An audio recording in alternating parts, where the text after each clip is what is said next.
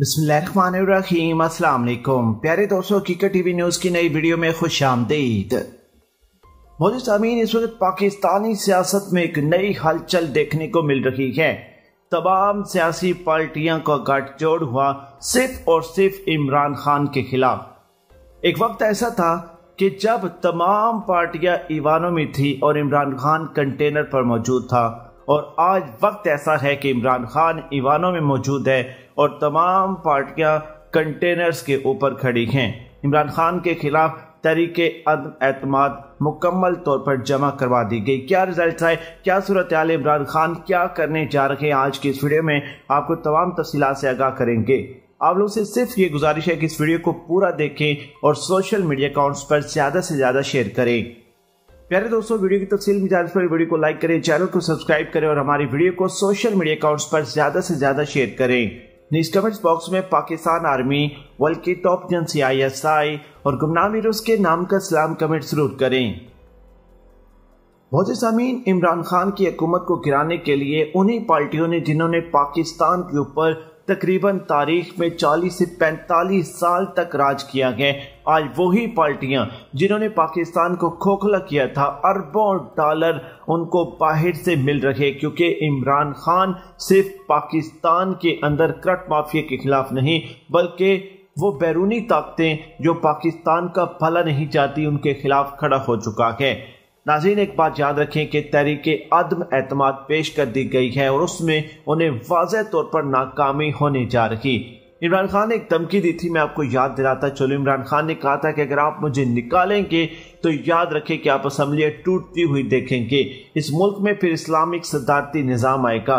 इमरान खान के ये अल्फाज थे कि जब तक मैं हुकूमत में हूँ, इमरान खान इतना खतरनाक नहीं, और अगर मुझे निकाला गया तो फिर मैं ज़्यादा खतरनाक हो जाऊँगा।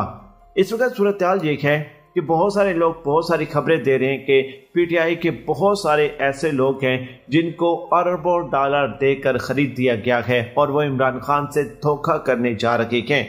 मेरे सामने चंद अहम किस्म की तफसीत है जो मैं आपको आगाह करता चलूँ।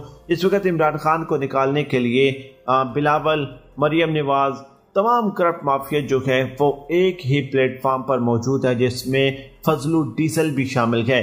डीजल का लफ्ज हम दस मरतबा नहीं, हज़ार मरतबा इस्तेमाल करेंगे, क्योंकि ये शख्स मज़हब का इबादा ओढ़ कर इस वक्त एडवांटेज ले रहा है। आप देख रहे हैं कि ये डीजल कितना इस वक्त एक्टिव है, सिर्फ़ और सिर्फ़ इमरान खान को निकालने के लिए। क्या आप जानते हैं, जरदारी के दौर में पाकिस्तान के साथ क्या कुछ हुआ था? फिर नवाज़ शरीफ के दौर तीन से चार मरतबा वो मुल्क के ऊपर वजी अजम बना। मुल्क को किस तरह उन्होंने नुकसान पहुँचा? आज ये महँगाई का एक लिबादा ओढ़कर आम आवाम पाकिस्तानी को बेवकूफ़ बनाकर ये चले हैं सिंध से इस्लामाबाद तक एक मार्च लेकर। और अब ये इमरान खान के खिलाफ तरीके अदम अतमाद लाने जा रहे हैं। और इसका ये ख्याल है कि ये इमरान खान को निकलवा देंगे, इमरान खान की हुकूमत को गिरा देंगे।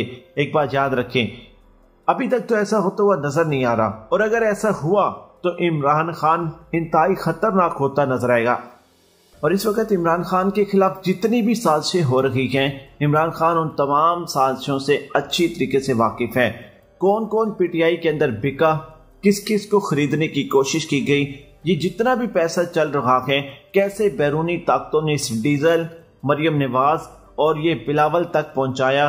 कैसे खुफिया ताकतें इमरान खान के पीछे पड़ चुकी? आज ये जितनी भी आपको प्लानिंग नज़र आ रही है, इसमें उन तमाम खुफिया ताकतों का पैसा चल रहा जो इमरान खान को नहीं देखना चाहते।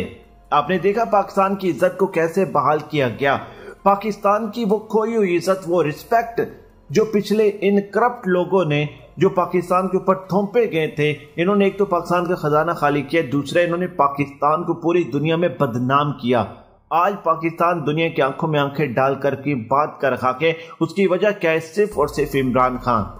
मोदी सामीन, इमरान खान ने मुकम्मल तैयारी कर ली है। इमरान खान जानता है कि ये किस हद तक जा सकते हैं। इमरान खान ने अपनी सियासी सूरत को देखते हुए अपनी सियासी तौर पर तमाम तैयारियाँ मुकम्मल की हैं। एक बात याद रखें कि अगर इमरान खान को ये महसूस हुआ कि ये मुझे निकाल देंगे, या फिर मेरी टीम में वो ऐसे लोग मौजूद हैं जो बिक गए हैं, जिन्होंने मेरे खिलाफ वोटिंग किया है तो आपको असम्बलियाँ टूटती हुई नज़र आएँगी। इमरान खान ने कहा था कि अगर मैं गया तो मैं सबको साथ लेकर जाऊँगा और फिर मैं देखूँगा कि कौन किस तरीके से कामयाब होता है और सबको मैं कैसे नाकाम करके जाता हूँ। इमरान खान की धमकियों का अब वक्त आ पहुँचा है। अब वो फैसला कौन मोड़ आने जा रहा, जिसमें ये फैसला होगा कि इमरान खान ये हुकूमत पूरी करेंगे और इसके अलावा क्या होने जा रहा। क्या उन अपोजिशन पार्टियों की तहरीक आदम एतमाद की जो तहरीक है, वो कामयाब होने जा रही या नाकाम? और इस वक्त आपने एक चीज़ नोट की होगी। इमरान खान भी आवाम के साथ जलसे करना शुरू हो गया है। पाकिस्तान के मुख्तलिफ़ शहरों में इमरान खान के जलसे भी देखने को मिल रहे। पेट्रोल सस्ता कर दिया गया, डीजल सस्ता कर दिया गया, बिजली सस्ती कर दी गई। और इमरान खान ने कहा कि पहले पाकिस्तान इस हालत में नहीं था कि हम पाकिस्तान के अंदर आवाम को रिलीफ देते। लेकिन अब हमारे पास इतना पैसा आ चुका है कि हम पाकिस्तानी आवाम को अब रिलीफ देने जा रहे हैं। आप ये चीज़ देखें कि इमरान खान को ये पार्टियाँ क्यों निकालना चाहती? और सिर्फ़ ये पार्टियाँ नहीं, ये वो करप्ट माफिया नहीं, बल्कि वो माफिया जो इंटरनेशनली तौर पर पूरी दुनिया को डील करता है, वो भी इमरान खान को क्यों निकालना चाहता है? अमरीका तक इमरान खान की हुकूमत के खिलाफ है। उसकी वजह क्या? एक टाइम ऐसा था कि पाकिस्तान के जो सदर थे वजी अजम थे, अमरीका के दौरे पर जाते थे, नज़रें झुकाकर, सर झुकाकर बात करते थे और आँखें मिलाकर उनसे बात नहीं होती थी। वो सिर्फ़ और सिर्फ़ वहाँ पर अमरीका से ऑर्डर्स लेने जाते थे। अपना मौकफ रखने की, दूर की बात सोच भी नहीं सकते थे। अमरीकी दौरा पाकिस्तानी किसी भी सदर और वजी अजम के लिए हमेशा मुश्किल तरीन समझा जाता था, क्योंकि वहाँ पर की गई एक बात आपकी फ्यूचर को भी तबाह कर सकती थी। इतने हद तक पाकिस्तान के सदर और वजी अजम अमरीका से डरा करते थे। लेकिन अब क्या है? अब जब भी इमरान खान अमरीका के दौरे पर गए हैं, चाहे उनकी ट्रंप के साथ मुलाकात हो, बाइडन के साथ मुलाकात हो, आँखें में आँखों में आँखें डालकर बात की कोई हाथ में पर्ची नहीं, कोई हाथ में स्क्रिप्ट नहीं। इमरान खान जानता है कि उनका मौकफ क्या है, उन्होंने अपनी कौन कौन से पॉइंट रखने हैं और वो आँखों में आँखें डालकर बात करता है। ये चीज़ हजम किससे होगी? वो दुनिया की सुपर पावर बना अमरीका, जब वो पाकिस्तान को सारी ज़िंदगी दबा कर रखता रहा। लाजमी सी बात उसे तकलीफ़ तो पहुंचेगी जब पाकिस्तान में ऐसा वजी आ जाएगा। जो दुनिया में अपने हक के लिए बात करता है। क्या आपने देखा? आरएसएस का नज़रिया इमरान खान ने कैसे बेनकाब किया?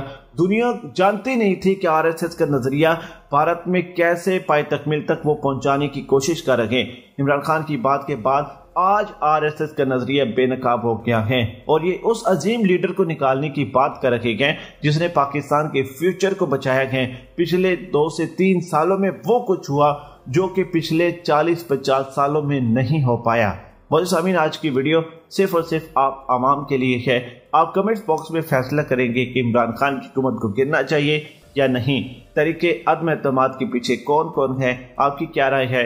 मुझे कामी मलिक को कमेंट्स बॉक्स में ज़रूर अपने कमेंट से बताइएगा। वीडियो को लाइक करें चैनल को सब्सक्राइब करें। मेरी इस वीडियो को सोशल मीडिया अकाउंट्स पर ज़्यादा से ज़्यादा शेयर करें।